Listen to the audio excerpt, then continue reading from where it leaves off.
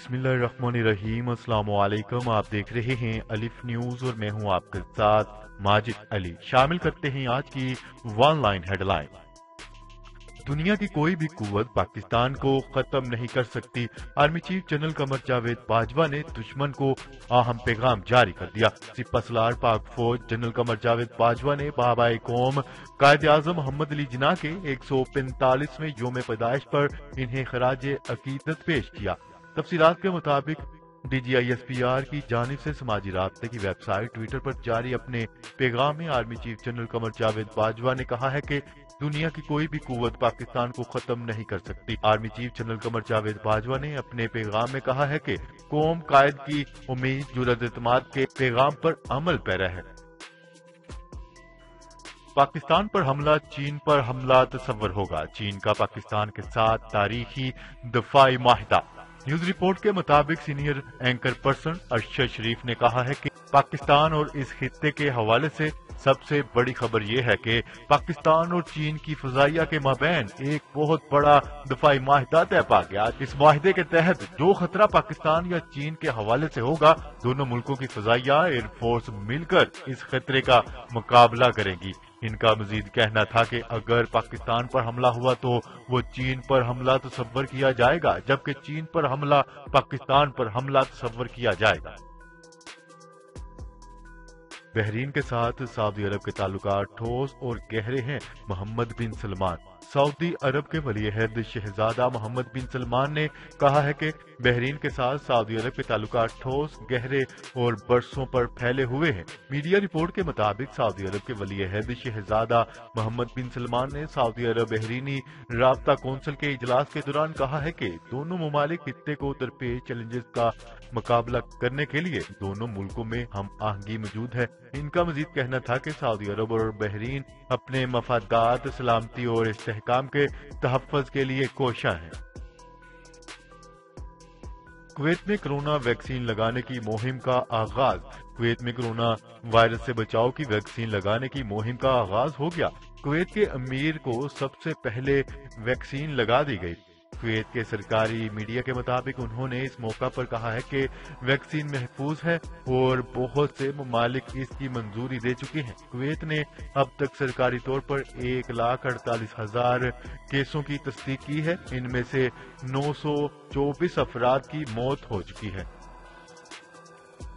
Australia में lockdown का दौरानिया बढ़ा दिया गया। ऑस्ट्रेलिया में लॉकडाउन का दौरानिया 26 दिसंबर से 18 जनवरी तक बढ़ा दिया गया है। ऑस्ट्रेलिया में लॉकडाउन के दौरान सब तजारती मराकज 18 जनवरी तक बंद रहेंगे, जबकि रेस्टोरेंट्स और होटल 24 जनवरी तक बंद रहेंगे। नोटिफिकेशन के मुताबिक नए लॉकडाउन का इतलाक हर उस फर्द पर होगा जिसने जनवरी के वस्त में होने वाले बड़े पैमाने पर कोरोना टेस्टों के दूसरे मरहले में हिस्सा नहीं लिया। तालीमी अदारे खोलने से मुतलिक फैसला चार जनवरी को होगा। वफाकी वज़ीर तालीम ने बड़ा ऐलान कर दिया। इस्लामाबाद के मोनूमेंट म्यूज़ियम के दौरे के दौरान मीडिया से गुफ्तगू करते हुए शफकत महमूद का कहना था कि चार जनवरी को पैनल सूबाई वजरा तालीम का इजलास है। इजलास में हालात का जायजा लिया जाएगा और हमारी कोशिश है कि तालीमी अदारे जल्द खुल जाएँ। बच्चों की सेहत अवलिन तरजीह है। तालीमी अदारे खोलने का फैसला चार जनवरी को होगा। चीन पर अमरीकी पाबंदियाँ खुद अमरीकी मफाद के खिलाफ हैं। चीन ने बड़ा इंतबाह जारी कर दिया। चीन के खिलाफ हालिया अमरीकी पाबंदियों पर रद्द अमल देते हुए चीनी जराये का कहना है कि ऐसा करके अमरीकी सियासतदान खुद अपने ही मुल्क की साख को नुकसान पहुँचा रहे हैं। वाजर है, अगरचे इस वक्त अमरीका में इंतकाल इकतदार के सिर्फ़ चंद रोज रह गए हैं, लेकिन फिर भी अमरीकी हुक्काम की जानब से चीन समेत दीगर ममालिक के खिलाफ पाबंदियों का सिलसिला बदस्तूर जारी है। बाजोड़ में दहशत गर्दी का बड़ा मंसूबा नाकाम, चार मुलजमान गिरफ़्तार।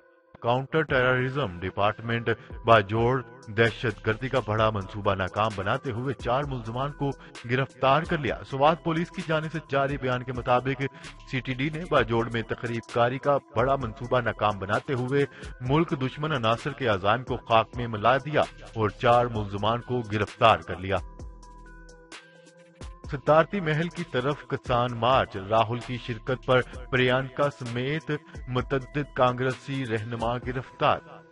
भारत में मोदी सरकार ने एक बार फिर किसानों के मुतालबात मानने से इनकार कर दिया। हुक्मरान जमात भारतीय जनता पार्टी का कहना है कि ज़रिए सलाहती बिल मंसूख करने का सवाल ही पैदा नहीं होता। हुकूमत ने इल्ज़ाम लगाया है कि इन्हें बहुत सी किसान तंजीमों का भरपूर तावन हासिल है और निजी सरमाकारी के बगैर जरात की आमदनी बढ़ने के काबिल नहीं होगी। मोदी सरकार की जानब से पहली बार वाजिया तौर पर मुतालबात मानने से इनकार कर दिया गया, जिसके बाद हालात मजीद खराब होने का खदशा पैदा हो गया।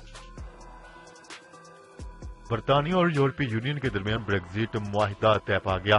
बरतानिया और यूरोपीय यूनियन ने ब्रेग्जिट मुआहिदा कर लिया, जो आने वाले अशरों तक इनके ताल्लुकात की वजाहत करेगा। हज़ारों सफात पर मुश्तमिल सैकड़ों मंसूबे शामिल हैं और इसमें मुस्तबिल में तजारत, सलामती और माहीगीरी के साथ साथ मुस्तबिल में साइंसी ताउन और रेगुलेटरी सफबंदी के इंतज़ाम भी शामिल है। क्या रहेगा माहदे के तहत इंग्लैंड ने अपनी सरहद कौंसल कवानीन तजारत और पानी का कंट्रोल वापस ले लिया। यकम जनवरी दो हज़ार इक्कीस ऐसी बरतानिया सियासी और माशी तौर पर मुकम्मल खुद मुख्तार होगा। यूरोपीय यूनियन का तुर्की में पना गजीनों पर मजीद लाखों डॉलर खर्च करने का मंसूबा। यूरोपीय यूनियन का मंसूबा है कि अगले साल उन्होंने तुर्की में मकीम महाजरीनों की मदद के लिए सैकड़ों मिलियन यूरो खर्च करेगा। इनमें से बेशतर ऐसे अफराद हैं जो शाम में जंग से फरार हुए हैं। यूरोपीय यूनियन की एग्जेक्टिव बॉडी यूरोपीय कमीशन का कहना है कि वो दो प्रोग्रामों में तोसी कर रहा है। एक जो तुर्की में पनाह गजीनों को अपनी बुनियादी जरूरियात पूरी करने के लिए नकद इमदाद मुहैया करेगा और दूसरा जो बच्चों को तालीम देने में फंड मुहैया करेगा। अफगान तालिबान की मुजाकराती टीम के सरबरा मुल्ला अब्दुल गनी बरादर ने इंकशाफ किया है कि दुनिया की सुपर पावर अमेरिका के सदर ने इनसे फ़ोन पर तवील गुफ्तगु की और ट्रंप ने इतनी तवील गुफ्तगु शुरू कर दी कि उन्होंने 35 मिनट बाद अमेरिकी सदर की काल काट दी। कोयटा में अफगान महाजरीन को तालीम देने वाले मदरसे में सहाफियों से गुफ्तगु करते हुए मुला अब्दुल गनी बरादर ने कहा है कि हम अफ़गानिस्तान के अंदर इस वक्त तक मुजाकरात नहीं करेंगे जब तक अफ़गानिस्तान की फजाई हदूद अमरीकियों और इतिहादियों के कब्जे में है। कौमी सलामती के अमूर के लिए बेहतरीन सलाहित नागजीर, naval chief naval chief admiral Mohammad Amjad Khan Niazi का कहना है कि कौमी सलामती के अमूर के लिए बेहतरीन सलाहितें नागजीर हैं। पाक फौज के शोबा तालुकात आमा के मुताबिक नेशनल डिफेंस यूनिवर्सिटी में इक्कीसवीं कौमी सलामती कोर्स की ग्रेजुएशन तकरीब हुई, जिसके मेहमान खसूसी अमीरुल बहर एडमिरल मोहम्मद अमजद खान न्याजी थे। कौमी सलामती कोर्स के अख्ताम पर सिविल सर्विसेज़ मसल्ला अफवाज के हुकाम ने कोर्स में शिरकत की। Naval chief admiral Mohammad Amjad Khan Niazi ने तकरीब के शिरका से खिताब करते हुए कोर्स की कामयाब तकमील पर इन्हें मुबारकबाद दी।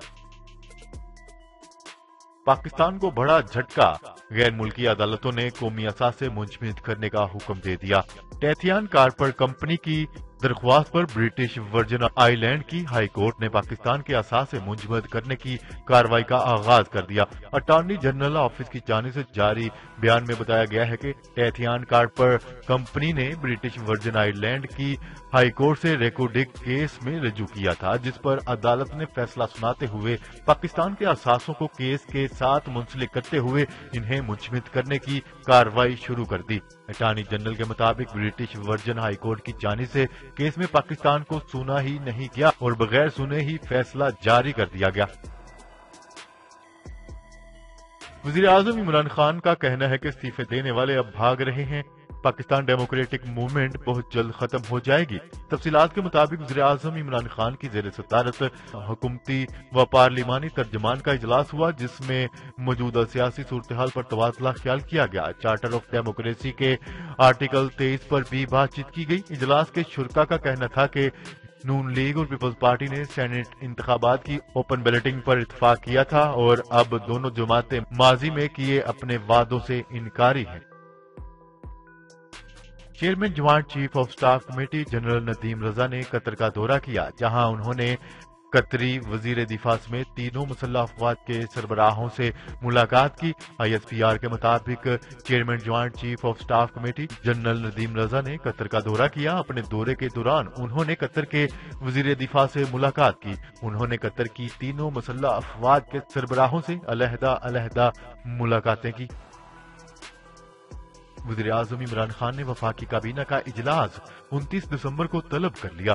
काबीना इजलास का सात निकाती एजेंडा जारी कर दिया गया। न्यूज़ रिपोर्ट के मुताबिक, काबीना इजलास में मुल्की सियासी माशी और कोरोना की सूरत हाल पर गौर किया जाएगा। इजलास में इकतदी अमूर डिवीज़न गैर मुल्की फंड के इस्तेमाल पर ब्रीफिंग दी जाएगी। बयानबाजी की सजा जे यू आई फे ने पार्टी पॉलिसी से इनहराफ करने वाले अरकान की रुकनीत मअतल कर दी। जमीयत इस्लाम फे के अरकान की तरफ़ से पार्टी डिसिप्लिन की खिलाफ वर्जी पर डिसिप्लिन कमेटी ने तमाम अरकान की रुकनीत खत्म कर दी। न्यूज़ रिपोर्ट के मुताबिक चारों रहनुमाओं को निकालने का फैसला पार्टी डिसिप्लिन कमेटी ने किया। रुकनीत से हाथ धोने वाले रहनुमाओं में मौलाना शिरानी, हाफिज हुसैन अहमद, मौलाना गुल नसीब मौलाना शुजाल मुल्क शामिल हैं। जराये के मुताबिक कमेटी ने चारों रहनुमाओं की रुकनीत खत्म करके पार्टी से निकाल दिया। जी तो नाजरीन, आज के लिए इतना ही। मजीद खबरें लेकर बहुत जल्द आपकी खिदमत में हाजिर होंगे। तब तक के लिए अपना ख्याल रखिएगा। अल्लाह निगेबान। पाकिस्तान जिंदाबाद, पाकिस्तान आर्मी पाइंदाबाद।